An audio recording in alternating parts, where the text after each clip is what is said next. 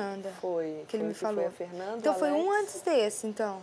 Ou, ou não, o, o ele pode ser que não tenha votado em você, então, porque eu lembro que ele que votou na Fernanda. O meu paredão foi o segundo paredão.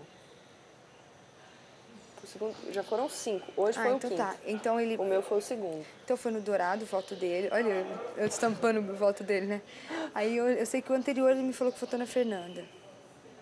Agora o outro pra trás, que eu acho que foi o seu. Não, o terceiro Tem mais um. eu. O terceiro foi. Quem que saiu? Alex? Foi o Alex. Não, o Alex saiu agora. Anteontem. última. Não, foi Ó, anteontem. hoje foi o Will, anteontem, domingo, foi o Alex. Tessália? Tessália, Massa e Josi. Você foi junto com o da Márcia. Fui junto com o da Massa. Fui eu, Massa e Alex. Vocês conversaram no primeira ou segunda semana? Você, Na segunda, nós conversamos, tipo, na quarta, você conversou depois do seu paredão? antes, do meu paredão. Nós conversamos na quarta e o domingo era domingo de votação. Quarta ou quinta, não tenho certeza, mas era assim, meio de semana. É, eu não sei, eu sei os últimos dois votos dele, que é o da, da Xepa que foi pro Dourado e o anterior que foi da Fernanda. E aí ele falou assim, poxa, a Morango continua votando em mim. Achei que depois daquela conversa a gente tinha acertado. Uma coisa assim, ele falou, eu vou chamá-la para conversar para ver o que ela tem ainda. Mim. Ele comentou duas vezes hoje sobre isso, coincidência. Né? A gente tá falando. É, de coincidência que tá É, falando isso tá falando hoje. é. assunto. E ele falou, eu vou conversar com a Morango porque eu, eu sinceramente, eu não sei o que ela tem contra mim. Eu nunca fiz nada pra ela e tal, não sei o que lá, não sei o que lá. Eu preciso conversar com ela. Ele falou isso hoje duas vezes. Falou na frente do Michel ainda, e depois uma vez, uma hora que tava nós dois. Eu falei, é, realmente eu não sei. Ainda ele brincou, ah, ela tem ciúmes de mim, porque vocês duas são muito juntas. Ainda brincou, eu falei, ah, e ela sonhou comigo, hein? Ah, sua louca! é, falei brincando, porque eu falei que eu tinha sonhado que eu tinha brigado com você. Aí eu falei, ah, e ela sonhou comigo. Ah, então amor, ele falou, ainda morando tem ciúmes de mim. Ele ficou zoando. Eu falei, assim, eu não sei porque que ela, ela tem alguma coisa pra mim, eu preciso chamar pra conversar, porque eu achei que tipo, tinha ficado numa boa. Isso foi o que ele me disse. Porque ele nunca fez nada é, diretamente a você. É que você não concorda com a personalidade, com as atitu- atitudes dele. É. As atitudes. Mas em- enquanto era isso, ainda haviam pessoas. Nessa segunda semana que a gente conversou, porque eu falo segunda semana assim, porque a gente entrou, aí a Josi foi eliminada na terça-feira, aí isso foi mais ou menos na quarta ou na quinta, que eu não me lembro bem, e no domingo eu fui pro paredão. Então a gente conversou antes, ele falou que não ia votar em mim, justamente por acreditar que aquilo estava resolvido, né? Não, vou dar um tempo, vou dar o tempo que ele falou pra gente se conhecer e tal. Não vou votar nele, votei numa pessoa que eu não tinha, que eu não estava próxima, que eu tinha menos contato. E aí votei, não votei nele. E aí quando foi na outra quinta, ou seja, voltei do paredão, passaram alguns dias. Você explicou isso na cadeira, na, Expliquei. Por isso, no, no confessionário. Por isso que ele, por isso que ele, ele te, te tirou o chapéu pra você. Pela sua argumentação. Não foi? É, mas aí eu expliquei isso no confessionário o quê? Na votação do terceiro paredão. Não, sim, não agora. Não agora. E você continua votando nele, é que ele E falou. continuei. Do terceiro paredão até hoje, eu só votei nele. Sério. e, e quando foi dar a explicação aqui na casa, cada um, cada um, e você... Eu não dei explicação. a única Explicação explicação nenhuma. que eu dei foi o seguinte, porque eu fui a última. É. Aí, é, as pessoas nem estavam justificando. Só falaram, Will, Will, Will, Will, Will. Falei, eu não tenho motivo nenhum pra votar no Will, mas eu tenho motivo pra votar no Eliezer. E o meu voto é do Eliezer. Eu falei assim. Porque na, no confessionário, nas votações anteriores, eu já tinha explicado. Quando- porque foi assim, na quinta-feira eu descobri que ele tinha votado em mim. E aí eu cheguei no domingo e falei, aconteceu isso, isso e isso, eu tive uma conversa com uma pessoa na casa, eu dei a segunda chance, eu votei em outra pessoa que eu, só porque eu não tinha afinidade, que era uma pessoa distante, que hoje é uma pessoa próxima, inclusive, que hoje é uma pessoa próxima. É, e a pessoa falou que não votaria em mim e acabou votando em mim. E pra mim isso é falta de caráter. Eu falei isso no confessionário. E por isso o meu voto é do Eliezer. Aí na segunda vez eu falei, ah, é, é, lembro a justificativa que eu dei, mas foi mais ou menos a mesma. Eu falei, não, tem pessoa que eu tenha mais motivo para votar aqui do que é o Eliezer. E eu votei no Eliezer, aí foi aquele negócio que o Dourado acabou indo pro paredão e ele trocou. Trocou com ele. E aí, de ontem, não, de domingo, foi isso que aconteceu. Todo mundo falou, eu falei, eu não tenho motivo, e realmente não tinha. Tanto que sábado eu passei a festa inteira conversando com o Will, a gente conversando sobre vida, relacionamento, não, não. jamais eu votaria nele.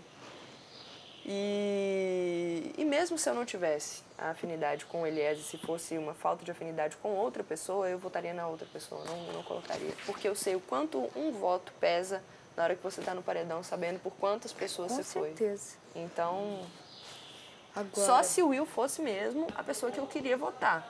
Que eu, que eu iria junto. E eu que mas- fui pra, corri, fui pra Xepa, meio que por ir, porque não tinha ninguém pra ir. E vai ter que acontecer vo- isso de novo. E tive que votar em alguém dessa casa. Olha a minha situação, Morango. Então, se você sabe muito bem que eu me dou bem com todo mundo aqui. Votei em quem? Votar em quem? Em quem que eu ia votar? Eu fiquei numa situação, eu não fui no Dourado por impulso da galera, não. Porque eu falei, meu, o que, que eu vou fazer? Aí eu falei, ah, eu tô com o Eliezer, o Dourado votou no Eli, vou dar. Pelo menos eu argumentei, sentei com o Dourado aqui e falei, falei, Dourado, eu votei em você, sabe que eu gosto de você. Tá, mas eu me senti ali na xepa, obrigada a votar alguém na casa que eu acabei de sair. Aí votei em é você. foda, né? É, pô, pensa na situação. Vota- votação por casa ainda. Aí eu falei, eu falei assim, ó, eu- você votou no Eli. E quando ele votou no Eli, ele veio falar pra mim, Cláudia, não levou a mal. Eu falei, imagina, não levei a mal mesmo. Mas aí teve minha, minha vez de votar, eu ia fazer o quê? Votei nele. E fiquei muito feliz dele ter ficado. Parece hipocrisia? Não, é que eu não, não tinha opção mesmo. E vou te falar, e continuo meio que sem opção. Tô começando a observar duas pessoas assim, agora, começando a acordar um pouquinho, porque eu, eu me sinto. eu me Acordar sinto- pra cuspir. É, eu me sinto às vezes um pouquinho meio que, né, babando aqui no jogo pra acabar, achar que as pessoas gostam de mim igual eu gosto delas, né? Então são duas pessoas que eu tô começando a observar pra poder ter argumentação mesmo pra votar. Pra não votar de, ai, eu gosto da pessoa, mas vou votar porque eu sou pessoa. É ridículo fazer isso. E eu já fiz isso várias vezes no confessionário. Olha, eu tô votando nessa pessoa, não gosto dela, mas vou votar nela porque é a pessoa que eu tenho menos proximidade. Que isso? Eu acho um argumento muito fraco. E as últimas votações minhas foi assim. Não sei se isso é bom ou se é ruim, porque o bom significa que você está se dando bem com a pessoa. Pelo menos da sua parte, você acha que está se dando bem com as pessoas. Só que, por outro lado, você não tem argumento direito.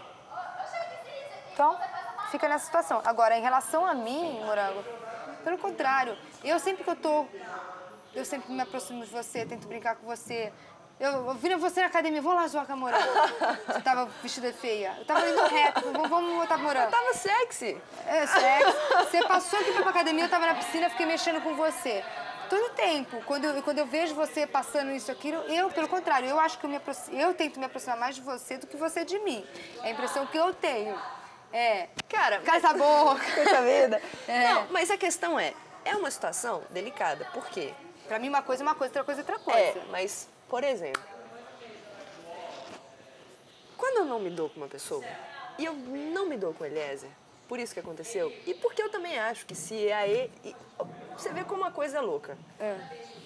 Eu acho, cara, que se ele tivesse alguma impressão, sei lá, da, da segunda, da terceira semana, se ele tivesse alguma coisa, ele podia ter falado há muito tempo. Eu nunca tratei ninguém com grosseria. Eu falo o que eu tenho pra falar. Às vezes, sem, sem ficar medindo palavra, rodando o toco. Eu, eu sou direta, mas eu não sou ofensiva no que eu falo. Jamais. Eu não tiro uma coisa não. que não existe pra falar. Eu falo o que eu sinto, as impressões que eu tenho. E eu não me dei com o Eliezer. O santo não bateu Daquela também. vez, é, pode ser. E, e a oportunidade que eu dei, eu tomei na cara e, e, e ele- não veio conversar sobre isso depois. E, e o pior é continuar como se nada tivesse acontecido, sabe? Eu não sei, e todas as impressões que eu tinha eu continuo tendo. Enfim, isso não é, pra mim, já é um assunto resolvido. Porque o que não tem solução, pra mim, solucionado tá. É, eu acho que assim, eu acho que não, não aconteceu nada entre vocês, grave, Não, nada, é, uma briga, nada. uma discussão, mas graças é falta, a uma Deus, falta de afinidade. eu acho que é normal e pronto. isso. É. Agora- Eu acho que talvez se ele forçasse uma, uma aproximação de você, seria uma coisa artificial que também não seria legal. Com E certeza. Você falou assim, ah, é, eu lembro que na conversa que você teve com ele, você falou assim, ah, eu não sei se você está forçando essa personalidade de querer conviver com todo mundo. Tá mais pro- tá provado que não. Pelo contrário, ele está se aproximando das pessoas que ele, que ele sente afinidade. Se ele não se, não se aproximou de você, é porque não teve afinidade. Eu acho que não foi uma coisa. Eu acho que você sentiria se ele aproximasse forçado. Claro. Entendeu? Então, eu acho que é normal aqui dentro. A gente, e, e é, eu acho normal e, e muito digno, às vezes, as pessoas não se aproximar por interesse para não querer seu voto. É isso que eu fico me perguntando muito. Quando as pessoas sentam do meu lado para conversar, será que elas estão do meu lado porque elas É, gostam de estar? tinha Eu já falei sobre isso isso. é. Então, e às vezes eu preciso, pre- preferia que as pessoas, às vezes, que não tivessem afinidade comigo, nem chegasse pra conversar ou falar, ah, entendeu? Fingir uma aproximação. Pois que aí é. confunde minha cabeça. Mas